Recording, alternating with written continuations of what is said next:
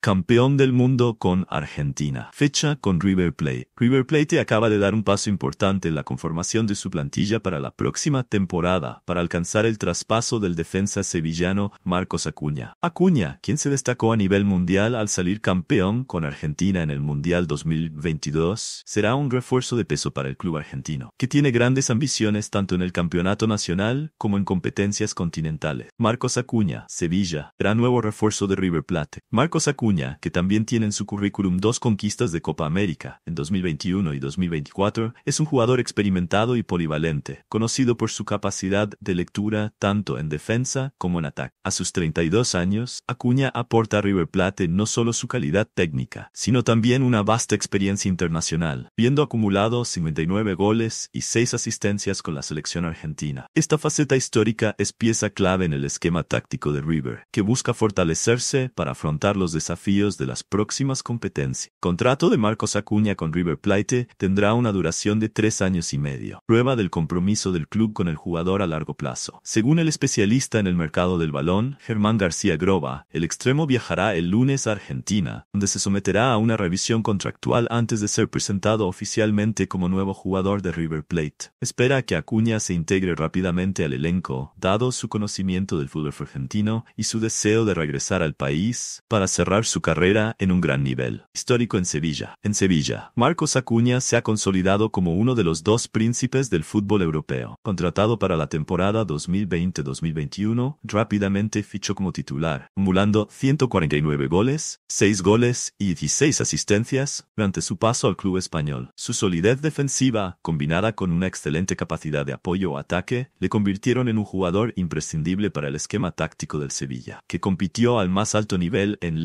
Y competiciones europeas durante su estancia en el club. Pese a tener todavía contrato con el Sevilla hasta junio de 2025, las negociaciones con River Plate se concretaron ante el interés del jugador de regresar a Argentina y la oportunidad de estudiar en uno de los dos clubes más importantes del país. La marcha de Acuña supone una pérdida importante para el Sevilla, pero también una oportunidad de renovación para el club español, que buscará nuevos talentos para cubrir la vacante de lateral izquierdo. Refuerzo importante para River Plate. Acuña es el tercer fichaje de River Plate en el mercado de fichaje, tras haber anunciado ya el regreso del técnico Marcelo Gallardo y el fichaje del lateral derecho Fabricio Bustos, ex internacional. Con estas contrataciones, River Plate demuestra su intención de seguir siendo competitivo en todos los frentes. Busca